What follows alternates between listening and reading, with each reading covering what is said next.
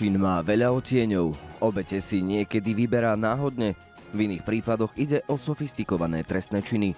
Obeťou zločinu sa môžete stať aj preto, že ste jednoducho iní. Či už svojou farbou pleti, národnosťou, vierovýznaním či inakosťou. Zhodil ma na zem, dostala som kopanice, neviem čo všetko podobné, škaredé bolo také potupujúce, že dodnes tým mám nejaký problém, keď niekam idem. No a následne ľudia nakupovali ďalej. Zobrali si košík, ja som ležala na zemi, on ma bil a oni ďalej nakupovali. Pani zobrala košík, ešte som jej zavadzala. Tu, hovorím ti pred kaplandom normálne, že ma tam kope, bije, normálne, ruka, hlava na hlava to išlo. Cíti sa vlastne ponížená, zabudnutá, nepodstatná. Pokiaľ ide o nápad tejto trestnej činnosti, tak zatiaľ nám to v roku 2017 vychádza najviac na západné Slovensko, čo je paradoxné, že nie na východnom Slovensku, kde je najväčší počet obyvateľov rómskej národnosti. Tak rasista, však on bol úplne, mal také veľké kanády na sebe, proste to oblečenie, mal takú veľkú bundu, takú, proste to bol skinecák. No ja som mal tú smolu, že predtým som mal ísť na večer na zábavu a mama ma poslala pre nejaké rožky, takže on nás videl v tom akože najviac vyobliekané, tak asi to štvalo, no. Toto je príbeh Martiny, ktorá na vlastnej koži zažila, aké je to byť obeťou zločinu.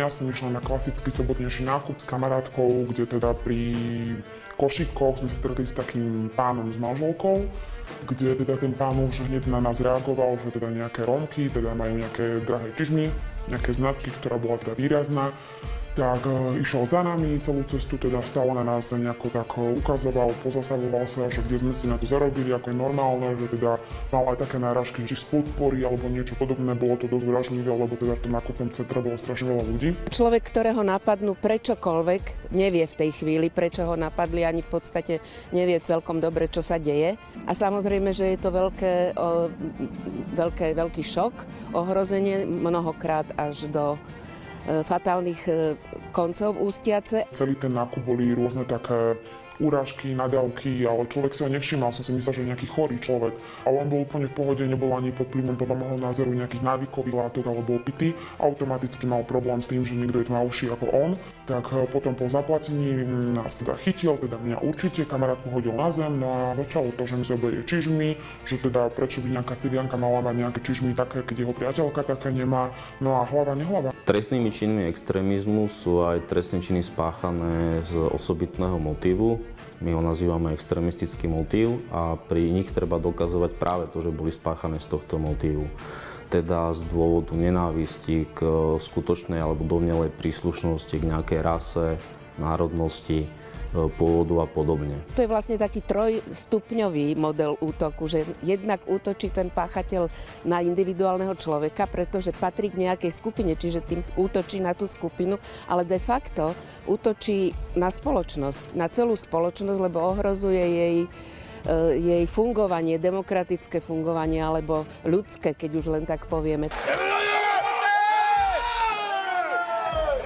Niekedy sa ale stanú trestné činy, ktoré na prvý pohľad evokujú, že sú extrémistické, ale ten motiv je tam len e, zástupný.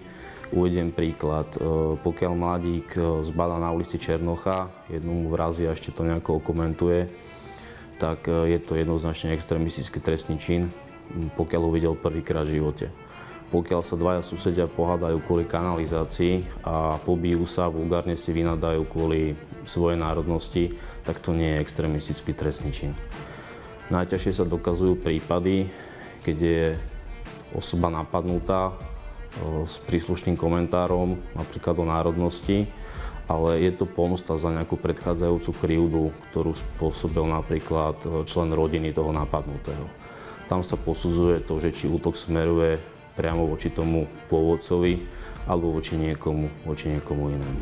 Keď zautočí e, niekto na, e, na obeď, ktorá je nejakým spôsobom teda definovaná ako príslušnosťou k nejakej skupine, tak väčšinou to, keď pri týchto zločinoch z nenávisti ten útok e, fyzicky predchádza také verbálne napadnutie, e, vyhrážanie, útoky, posmievanie a tak ďalej. A vôbec to nesúvisí s tým, či, či je nejako tá obeď oblečená, či má na sebe drahé alebo lacné veci. Ani u toho páchateľa to nie je podstatné. To je len také odôvodnenie, ale on v skutočnosti útočí preto, lebo nenávidí. To je najjednoduchšie vysvetlenie alebo vysvetlené. Nenávidí, ani sám nevie prečo.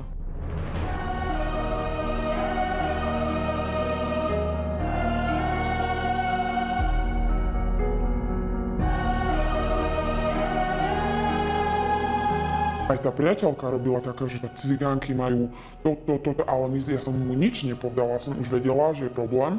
Hovorím, nebudem mu robiť, pro, vieš, proste na čo sa s tým hádať, alebo tak, no ale to bolo katastrofa, to sa mi stalo raz živote a bola som z toho fakt šoku ináč. A dodnes idem niekam, ja už nejsem taká vyrečná ako kedysi. Predtým mi to bolo smiešné, ja som si myslel, že naozaj, že sa nudí alebo čo. Ešte sme hovorili s kamoškou, že keď bol sám, tak si myslíme, že nás chce, že zbaliť alebo niečo že preto do nás akože stále, ale to bolo, to na meti, hovorím, som ležala na zemi a tá baba kričala, že nech mi vyzuje čižmy. V mnohých prípadoch týchto, týchto skutkov to môže viesť až k tomu, keď sa oni opakujú a opakujú sa na tej určitej skupine veľmi často a bez ohľadu na to, alebo ešte viac vtedy, keď, keď spoločnosť nereaguje, nielen tá blízka, nielen blízka okolie, ale spoločnosť ako taká, tak môže dôjsť aj k tomu, že tie obete začnú sami seba nenávidieť. A, a na, nenavidia sa preto, že, že sú práve, ja neviem, Rómovia, alebo sú práve a nenávidia svojich rodičov za to, že ich doviedli na svet. Je to veľmi zložité, ale to, tá ľahostajnosť ľudí, keď e, nezasiahnu, nie len, v, nie len v takom prípade, veď nie je tu podstatné pre tých ľudí, ako je motivovaný ten skutok. Podstatné je, že napadli človeka a môžu kedykoľvek to isté sa môže stať aj im. V tom obchode nikto nereagoval, absolútne nebol človek, ktorý by reagoval na to, že teda ukludnite sa, mladý pán, alebo niečo podobné.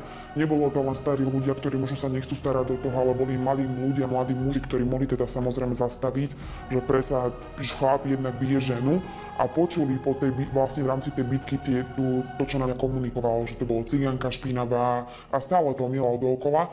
Takže to bolo to vlastne bol to rasistický útok a v tej, v tej danom momente vlastne kamarátku napadlo, že na políciu sa obratiť, no ako je inak.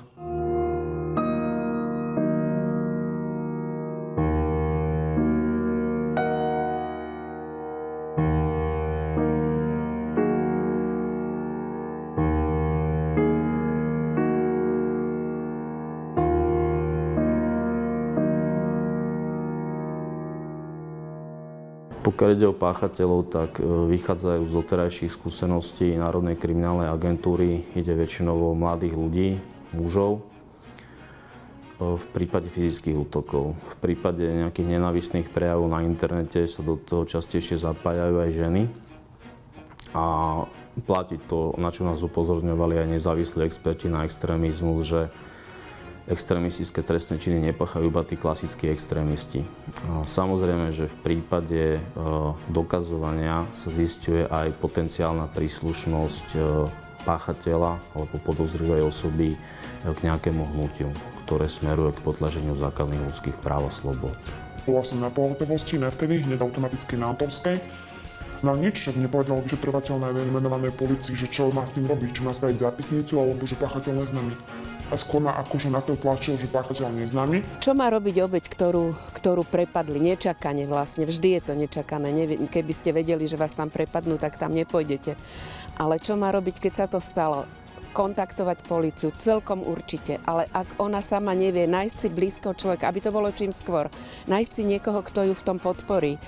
Ak ju, ak ju odhovárajú, nebude to, tým sa len prehlbuje tá, tá nedôvera medzi tými jednotlivými zložkami spoločnosti a to nie je dobre, tak si nikdy nepomôžeme tá naša linka, alebo tá linka pomoci a iné linky slúžia na to, aj aby vás povzbudili, aj aby vám povedali, keď sa stanete obeťou, ako sa to robí, ako máte ísť podať to trestné oznámenie. Prípadne, ja pevne verím, pretože pred nedávnom, pred dvomi týždňami bol prijatý zákon o obetiach, ktorý bude platiť od 1. januára a mal by umožniť aj to, aby tie linky, alebo nie len linky, ale tie, tie organizácie, ktoré poskytujú pomoc obetiam alebo budú poskytovať, aby mohli poskytnúť e, aj fyzickú oporu, podporu a sprevádzať tie obete, dajme tomu aj na podanie trestného znamenia. Ale potom počas celého trestného konania a veľmi často aj po ňom, pretože obete potrebujú e, sa dostať z tej krízovej, kritickej situácie, ktorú prežili.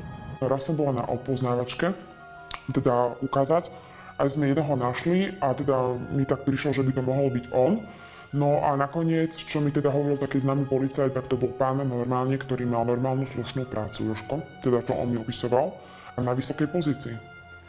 Tak či on ráno potom dá dole oblak a večer si dáva Kanady, to ja neviem. Ale on normálne funguje v normálnom živote, to nebol nejaký neandertalec. Keď som čítal správy o radikalizovaných moslimov e, v zahraničí, v západnej Európe, tak aj laicky som si všimol, že pri radikalizácii zohrávajú úlohu obdobné psychosociálne faktory ako na Slovensku pri našich podozrivých osobách. To znamená, že nejaká silná osobná frustrácia, psychické poruchy, neúspechy v osobnom živote, slabé vzdelanie a podobne. Vo všeobecnosti môžem povedať, že pri takých klasických extrémistoch je to je to nejaké presvedčenie o nadradenosti bielej rasy, o potrebe ochrany.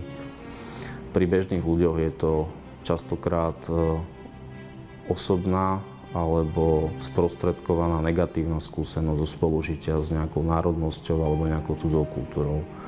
Plus ľudia, myslím si, že vo všeobecnosti sa Slováci boja cudzích prvkov. Vyskytujú sa páchatelia možno aj všetkých trestných činov vo všetkých spoločenských vrstvách a skupinách. Takže nebudem ani hodnotiť to, že neviem, nevidela som to, nepoznám ten prípad podrobne. A môže to byť e,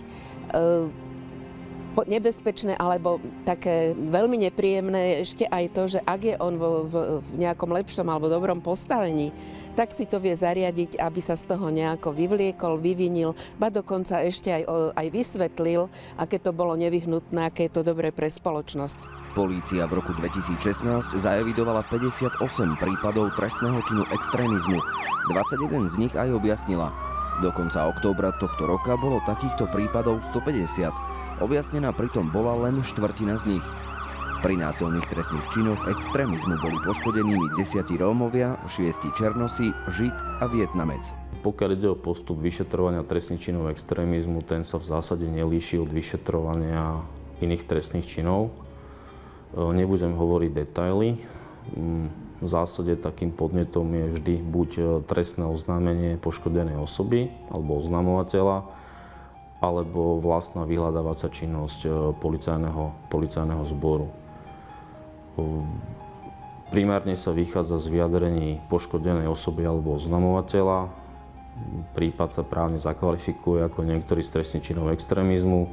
Následne sa využívajú všetky dostupné dôkazné prostriedky podľa trestného poriadku a tam sa môže stať, že prípad sa následne prekvalifikuje. To znamená, že napríklad z, prípadu, ktorý nebol kvalifikovaný ako trestný čin extrémizmu, sa trestný čin extrémizmu stane, alebo naopak. Zistí sa, že e, tam napríklad extrémistický motiv absentoval. Človek nikdy nevie, čo môže čakať. A po tejto skúsenosti predtým som to tak nebral. Keď aj napríklad som videla správa, že nejaké rasistické útoky alebo niečo podobné, skôr som to brala, že nemala som s tým skúsenosť, takže som to nevedela. Tým, že sa tak nezaraďujem, že by niekto mal na mňa útočiť na ulici, takže som nevedela. Ale už teraz áno, už mám taký ten, taký, že rešpekt, hlavne keď vidím taký, takýto typ ľudí, tak už tak spozorniem, idem ďalej, nevšímam si absolútne tých ľudí, čo teda aj predtým som si ich nevšímala, ale už som taká pozornejšia. To sú veci, ktoré nevyriešia služby obetiam, to musí riešiť štát a dúfam, že teda sa nebudeme ako štát tváriť, že sa nás to netýka.